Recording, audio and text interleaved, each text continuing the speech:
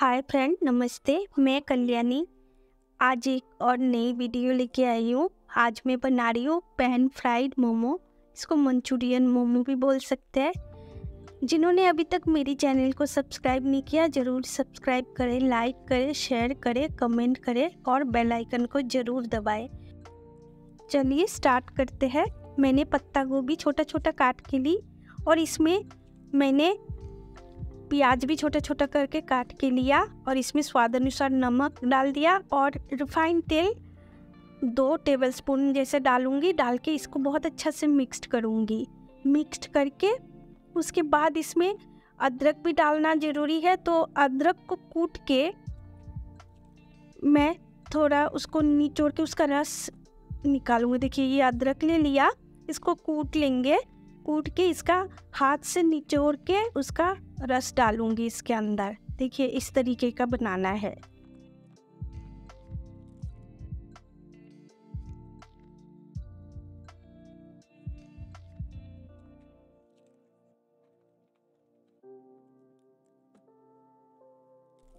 अब मैदा गूंद लेती हूँ। मैदे में स्वाद अनुसार नमक डाल दिया। डाल के थोड़ा अच्छा से इसको सिर्फ़ पानी से गूंदूँगी और कुछ नहीं डालना है इसमें। थोड़ा टाइट टाइट रहेगा। मैं देखो, गूंद के।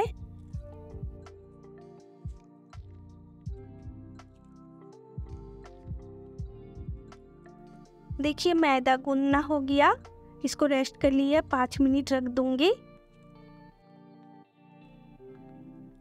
अब देखिए, इसका छोटा छोटा लोई बना लूँगी। मैदे का, जितना बड़ा बड़ा आपको मोमोज चाहिए, उसी हिसाब से इसका लोई बना लूँगी। तो देखिए, ऐसे एक लेके इसको थोड़ी सी मैदा छिड़क के इसको अच्छा से बेल लेना है।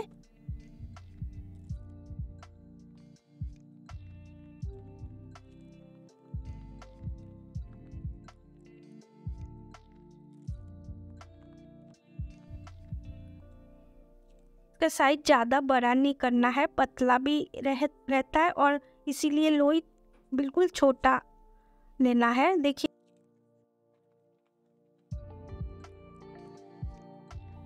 जो मैंने बेल के बनाई गोल सा, उसके अंदर, जो मैंने मोमो के अंदर डालने के लिए मिश्रण बनाई थी, उसको डाल के चम्मच से फिर इस तरीके के बनाए, बनाना है। डिज़ाइन आप किसी तरीके का भी बना लीजिए। पर मैं, मुझे ये डिज़ाइन ज़्यादा अच्छा लगता है तो इस तरीके का मैं आप लोगों को बना के दिखा रही हूँ। देखिए, ये बिल्कुल मोमो का मेन ये ऐसे ही होता है। तो आप लोग को जैसा मर्ज़ी वैसे बना लीजिएगा।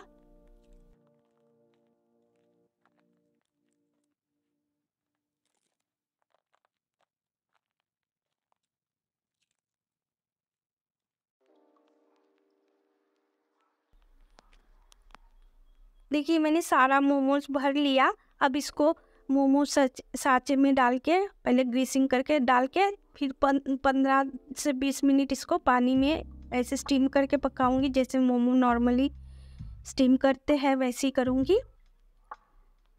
देखिए, हो गया मोमोज मेरा। अब देखिए मैंने गाजर काट के लिया। ये बीन्स है।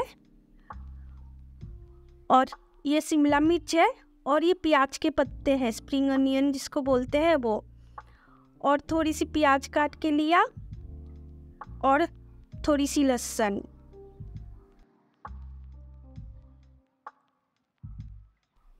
देखिए, कढ़ाई में थोड़ा तेल लिया रिफाइंड ऑयल है, फिर मोमो जो बॉईल की, कर रखा है उसको हम, मुझे फ्राई करना है, थोड़ा सा फ्राई कर लूँगी। नाम ही है इसका मंचूरियन मोमो। तो इस वजह से इसको अच्छा से फ्राई कर लूँगी। बेशक बॉईल भी कर लिया हमने।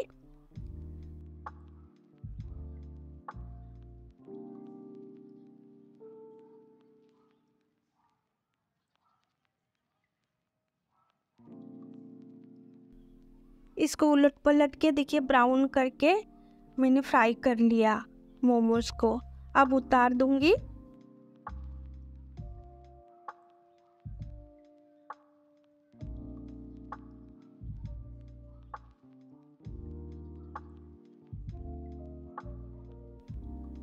अब देखिए, कढ़ाई में थोड़ी सी तेल ली, उसमें गाजर, शिमला मिर्च और बीन्स। तीनों चीज़ मैंने डाल दिया। सबसे पहले प्याज भी डाला, कटा हुआ प्याज और लहसुन। देखिए, सब डाल के इसको भूनना है अच्छी तरह से। तो ये थोड़ा चाइनीज़ डिश है, इसलिए ज़्यादा बॉईल नहीं करना है। थोड़ा कच्चा कच्चा रहता है सब्ज़ी, चाइनीज़ डिश में। तो स्वाद अनुसार नमक ये भी याद रहे, हर चीज़ में हमने नमक डाला, उसी हिसाब से नमक डालिएगा। और देखिए थोड़ा सा हल्का सा पानी भी डाल दिया इसमें। पानी डाल के हल्का भुनेंगे इसको। भुनने के बाद तो हल्का बॉयल हो जाए। भुना हुआ मोमोज मैंने डाल दिया इसमें, सब्ज़ी में, पूरे वेजिटेबल में। डाल के अच्छा से इसको मिक्स करूँगी। मिक्स करके क्योंकि मोमोज भी पके हुए हैं और ऊपर से सब्ज़ी भी हमने पका लिए है।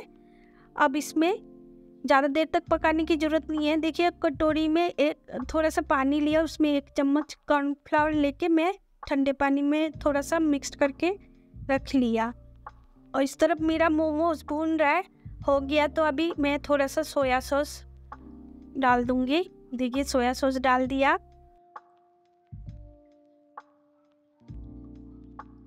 अब चिल्ली सॉस डालूँगी।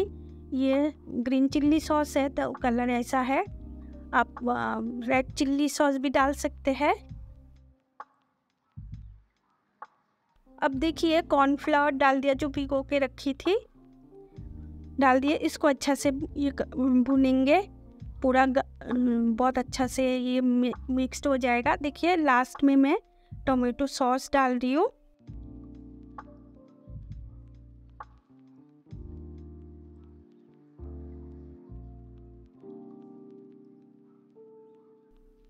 इसको भी, सॉस को भी अच्छा से भून के कर दिया। अब एक देखिए लास्ट में जो मैंने स्प्रिंग अनियन काट के रखा था, उसको डाल दिया, डाल के।